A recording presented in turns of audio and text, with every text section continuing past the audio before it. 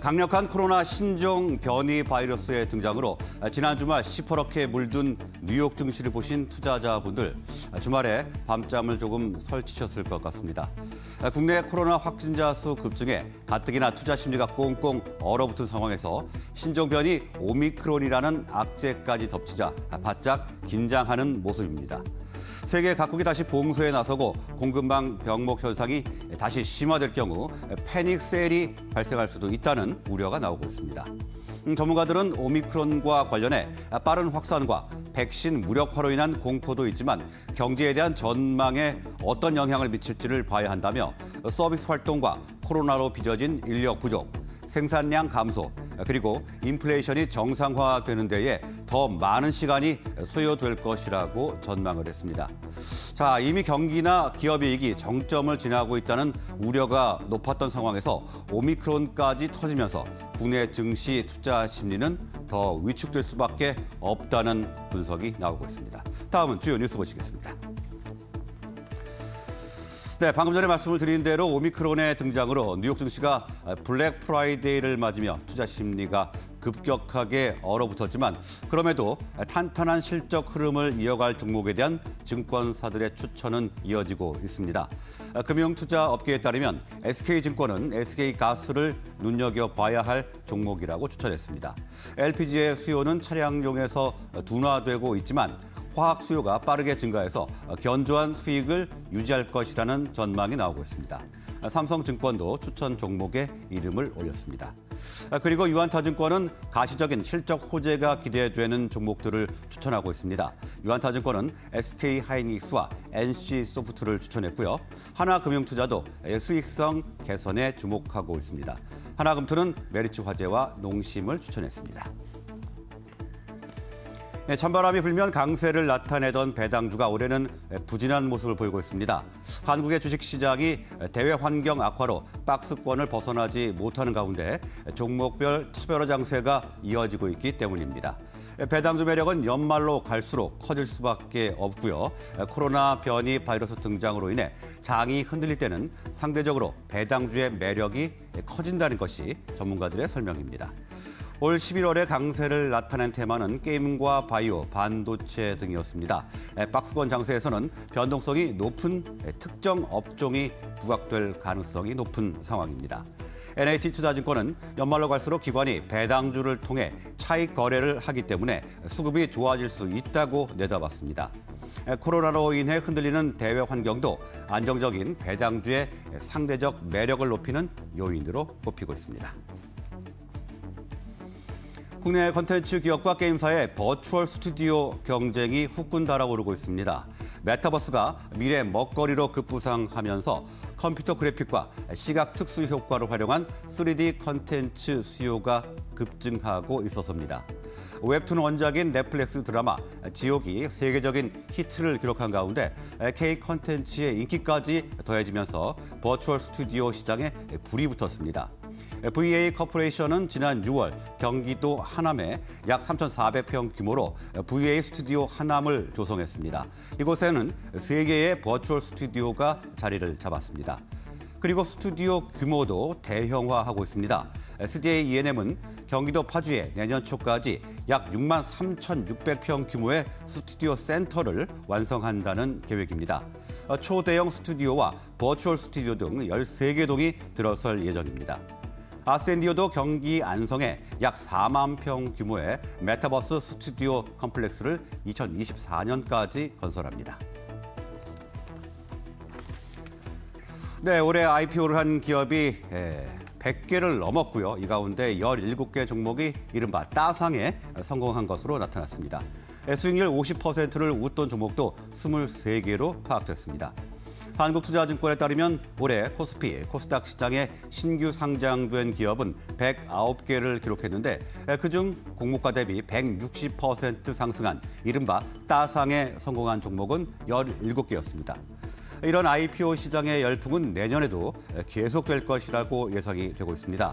내년 신규 상장이 거론되는 예상 기업 가치 1조 원 이상의 기업 수는 13개며 그중 기업 가치 10조 원 이상에 도전하는 기업도 5개나 됩니다.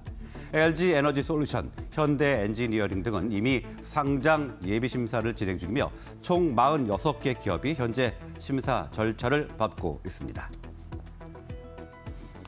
음, 코넥스 시장 대장주 툴젠이 이번 주 코스닥 이전 상장을 위해 공모주 청약을 실시합니다. 유전자 교정 전문 기업인 툴젠은 내일 공모가액 확정 공시를 내고 다음 달 2일부터 3일까지 일반 청약을 할 예정입니다. 희망 공모가액은 10만 원에서 12만 원으로 지난 25일과 26일 기관 투자가를 대상으로 수요 예측을 거쳤습니다. 100% 신주인 전체 공모 주식은 100만 주, 희망 공모가 하단 기준 1천억 원어치입니다. 99년에 설립된 툴제는 크리스토퍼 유전자 가위 원천 특허를 보유하고 있습니다. 유전자 가위란 DNA의 염기 서열을 교정해서 형질을 변형시킬 수 있는 유전자 교정 기술입니다. 이 툴제는 이런 유전자 교정 플랫폼 기반 특허 수익화와 관련 치료제 개발, 그리고 동식물 품종 개량 등을 주요 사업으로 갔습니다. 코스닥 입성은 이번이 네 번째 도전입니다. 2015년과 16년에도 기술 특례 상장을 시도했지만 거래소의 승인을 얻지 못했고요. 2018년에는 유전자 교정 원천 기술 특허권 관련 분쟁에 휘말리면서 상장을 철회한 바가 있습니다. 자, 지금까지 주요 뉴스 보셨습니다. 다음은 오늘의 투자 전략 알아보도록 하겠습니다. 공보증권의 오기철 부장이 연결되어 있습니다. 오기철 부장 나와 계십니까? 네, 안녕하십니까? 예, 안녕하십니까? 자, 지난 주말에 변이 바이러스가 전 세계를 덮쳤는데요. 우리 증시에도 많은 영향을 미치겠죠? 예, 그렇습니다. 일단 지난 주말이죠. 일단은 전 세계 오미크론 공포가 상당히 좀 증시를 어, 짓누르는 모습이었었는데요. 음, 빠른 전파력과 기존의 백신이 무력화 가능성이 언급이 되면서 일단은 뭐 유럽과 미국 증시가 상당히 큰 폭으로 좀 빠지는 모습을 보였습니다. 미국이 2.3%대, 어, 유럽이 4.7%대 급락하는 모습을 보였고, 특히 이제 공포지수라 분류는 빅스지수가 54%나 급등하는 등 일단은 변동성이 상당히 커지는 그런 모습입니다. 또한 유가 역시도 코로나19 초기의 모습과 비슷하게 13%나 좀 급락하는 모습을 보여서 여러 가지로 오미크론과 관련된 이슈가 오늘 시장을 좀 계속해서 어, 부각이 될 것으로 보여집니다. 아무래도 좀 상당한 영향을 미칠 것으로 예상이 되는데요. 자 그러면 어느 종목 주목하고 계십니까?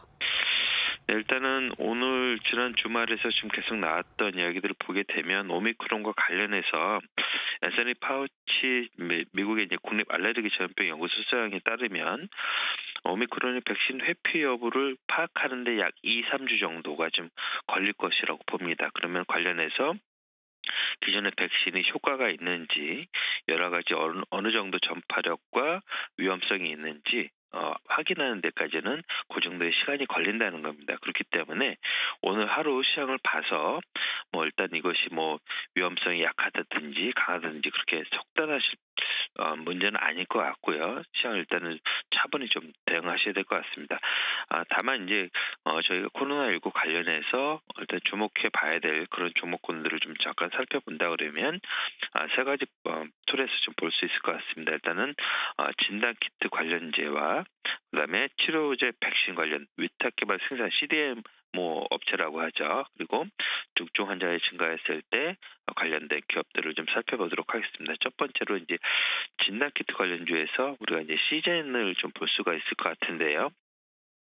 아, 시젠 같은 경우는 변이 바이러스용 신제품들이 계속해서 좀 나오고 있고 일단은 어, 적응력도 상당히 좀 빠른 그런 회사로 좀 알고 있습니다. 그렇기 때문에 어, 시젠 같은 경우 일단 주목을 해봐야 될 것 같은데요. 국내 및 유럽 판매에서도 좀 큰 폭의 증가를 보이고 있고 아, 국내외 이제 외국에 보게 되면 미국, 독일, 이탈리아, 뭐 중동 아, 이런 등지에서 아, 8개 국가의 해외 법인을 이미 설립해 놓은 상황입니다. 그렇기 때문에 가격 변동성이라든가 어, 기술력 이런 것을 주목했을 때는 씨젠을 한번 보셔야 될 것 같고요. 어, 치료제 백신 어, CDMO 관련 회사들 보게 되면 국내 이제 SK 바이오사이언스와 삼성 바이오로직스를 볼 수가 있을 것 같은데요. 그러한 계약을 맺은 회사들이 SK 바이오사이언스 같은 경우는 노바백스와 아스트라제네카 등 그다음에 삼성 바이오로직스는 GSK, 엔졸리틱스, 어, 비어 바이오테크 등이 있습니다. 그래서 일단 치료제 백신 관련 회사들은 이렇게 좀 주목을 하시면 될 것 같고요. 중증 환자가 많이 증가를 하게 되면 아무래도 이제 인공호흡기라든가 환자 감시 장치가 좀 많이 필요할 텐데 관련 회사로서는 메가이CS 등이 있을 것 같습니다. 그래서 이렇게 세 가지 분류로 카테고리로 좀 집중해서 보셔야 될 것 같습니다. 네, 오늘 차분한 대응을 주문해 주셨고요. 오늘 말씀은 여기까지 듣겠습니다. 고맙습니다. 네, 감사합니다.